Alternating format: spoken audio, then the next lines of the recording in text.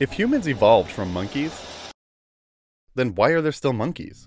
This has probably been one of the most prominent questions seen in the world of science and science communication, right next to what came before the Big Bang and what are atoms made of. But it's not actually a bad question. In fact, we need to stop shaming people for asking it. I mean, what's the point of science if not to answer all of our burning questions? The people asking this question may just be blossoming scientists, yet we treat them like they're stupid just for trying to get one of their questions answered. The problem with this question lies not just in the misunderstanding of the person asking the question, but also with the miscommunication by scientists of how evolution actually works. I would venture to guess that if someone is asking this question, they already have some kind of basic understanding in their head about how evolution works.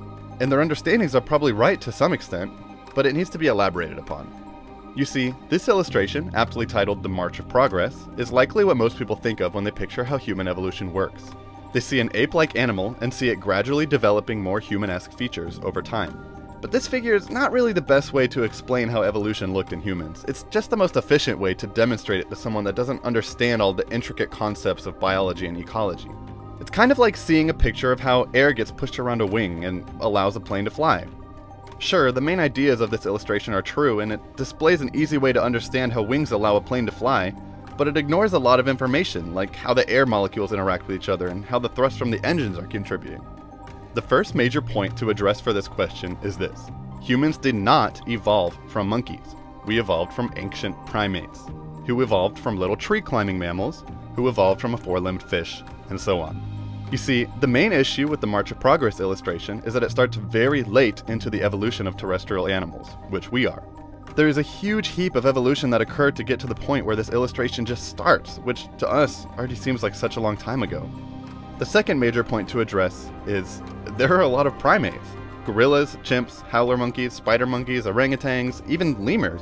Humans aren't the only animals that evolved from ancient primates. Thinking that evolution should have replaced monkeys with humans is like asking why there are still cats if lions exist. It just doesn't work that way. Different species adapt to different environments. Take humans and gorillas, for example. Our ancestors split off from a common ancestor millions of years ago, but because they lived in different environments, they evolved in different ways. Gorillas' ancestors thrived in dense tropical forests where food was abundant, and over time, they adapted the ability to digest tougher vegetation efficiently. They developed powerful jaws, and they stayed in areas where climbing and short distance travel were enough to survive. Meanwhile, early human ancestors found themselves in more open terrain, like grasslands or savannas, where food wasn't as concentrated. They had to cover more ground to find fruit, uh, roots, and even scavenge meat. This pressured them to walk upright over long distances, leading to the evolution of bipedalism, walking on two legs instead of four. But remember, if you rewind far enough, both human and gorilla ancestors will still trace back to a shared starting point, as does that ancestor with another species. So, a better way to phrase this question would be if humans evolved from ancient primates, then why are there no more ancient primates? And now the answer feels a lot more obvious. They all evolved and diverged into different species. They wouldn't be ancient primates if they were still around. A final point to make in helping people understand evolution is to clarify that evolution is not alive. It does not have a goal, it does not choose anything. It is literally just a mechanism that we created to help us understand how species adapt to their environment in all of the different ways that we see.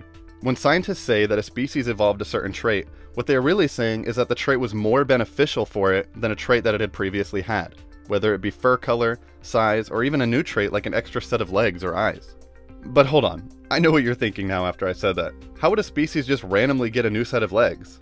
Well, that was a wise choice of words. It is almost literally random.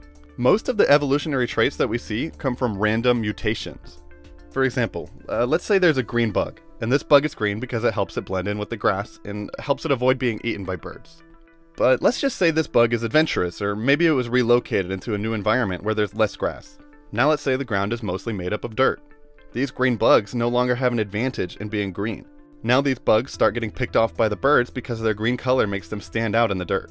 But suddenly, one or two of these bugs have a totally random mutation in their genes, which happens all the time. And remember, mutations are not always bad. It literally just means that the DNA changed in one small section. And this mutation makes them lose their green pigment, which makes them darker in color. These new bugs with completely random mutations that just change their color now have the advantage over the green versions of the bug. These brown bugs will get picked off less and less by the birds, and their survival allows them to mate more and more, until that random mutated gene becomes a commonly passed down gene in that species. But that is a somewhat drastic and fast change in a trait seen in a species.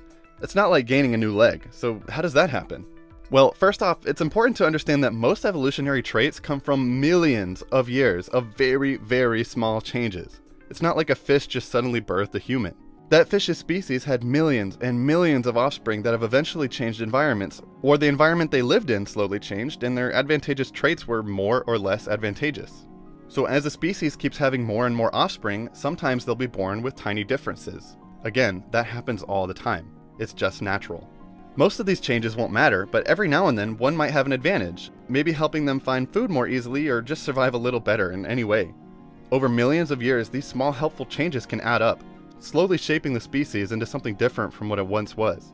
And remember, these are literally tens, hundreds, millions, billions of years. We're not saying that this happens in a lifetime, a hundred lifetimes, or even a thousand lifetimes. These changes are often very, very slow and very, very small, but their effects are not insignificant.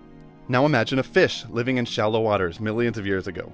Some may have been born with slightly stronger fins, which would help them push through the muddy areas a little better. Over thousands and thousands of generations, these tiny changes kept adding up. Fins that were sturdier, bones that supported more weight, and muscles that helped them move in shallow water or even on land for short bursts. Slowly, these fins turned into primitive legs, and eventually, some of these fish weren't just swimming anymore. They were walking. So, to bring it all together, evolution isn't a ladder, and it doesn't have an end goal. It's a slow, branching process where species adapt to their environments in different ways over millions and billions of years. This is why humans exist alongside other primates rather than replacing them. We all share a common ancestor, but through countless tiny changes, we've each taken our own evolutionary path. Understanding this doesn't just answer the why are there still monkeys question, it helps us see the bigger picture of how life is all connected. Evolution explains everything from why birds have different beaks to how fish grew their legs. Evolution is likely the most influential idea that has ever occurred in the realm of biology, and it unites and answers so many phenomena that had baffled us before. Science isn't about making people bad for not knowing something, it's about learning, questioning, and uncovering the incredible story of everything. So keep asking questions, because that's exactly how we move forward.